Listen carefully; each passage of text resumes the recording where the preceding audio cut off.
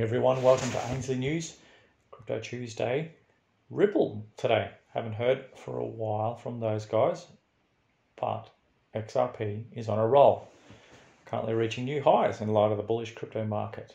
However, this begs the question is the SEC done with Ripple? First, let's recap on what the SEC Ripple situation is, especially for those that haven't been poking around in it for a while. XRP's parent company, Ripple, was in a lawsuit trouble ever since the SEC opened up a case against the global payments company.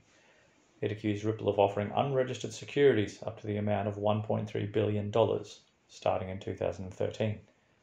The dispute, which began in December last year, has ended up nowhere but has done much to damage XRP's reputation. The resolution of the case will likely occur in early 2022 unless further delays push the timeline even further.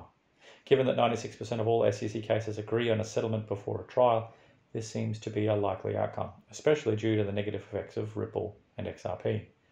Until then, it cannot move forward with, this, with its initial public offering.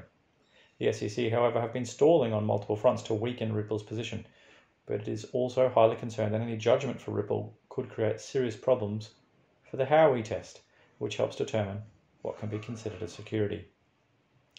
Others feel that this is a natural step in the right direction for cryptocurrencies and suggest that a new Ripple test should be adopted that could help test for securities versus currencies using a guideline that would make more sense for crypto projects. The demand for a Ripple test is evolving whether the SEC case wins or not. The conversation has moved beyond the SEC not only because its credibility has been shaken by its startlingly bad arguments in the pre-trial phase. There is a growing recognition that the treatment of XRP by the SEC has come to symbolize the US government's fundamental misunderstanding of cryptocurrencies, decentralized ledgers, and blockchain technology, and what they mean to the global economy.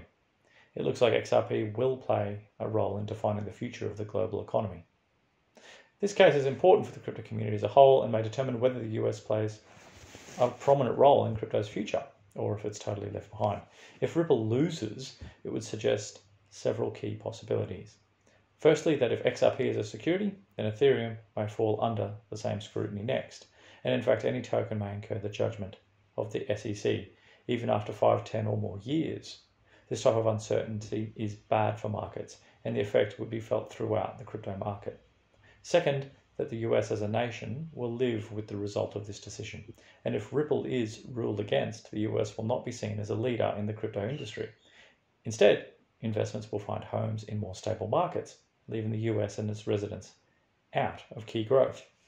One reason why Ripple needs to follow through with the lawsuit has been because its biggest competitor, SWIFT, the Society, the Society for Worldwide Internet, Interbank Financial Telecommunication, or SWIFT, does large-scale transactions across 11,000 financial institutions in more than 200 countries.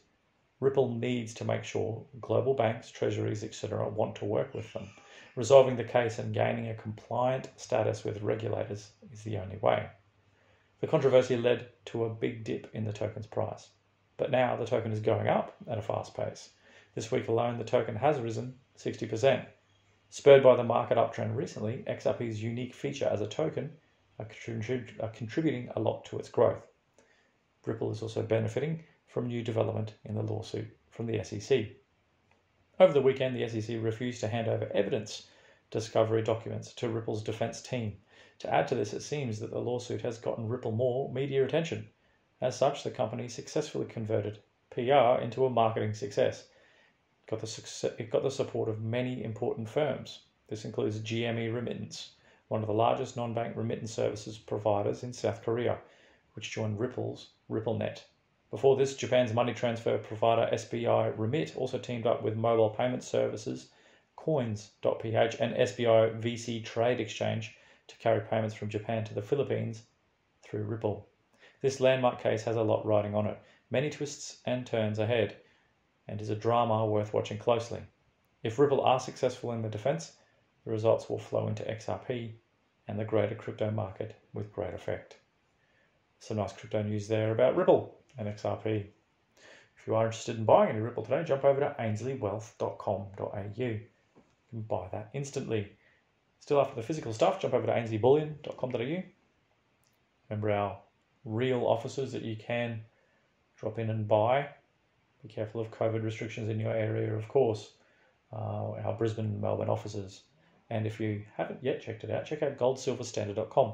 It's our own gold and silver backed stable coin, uh, backed by real gold and real silver, and stored at Reserve Vault in Brisbane. Enjoy your Tuesday, everyone, and we'll catch you tomorrow for more news.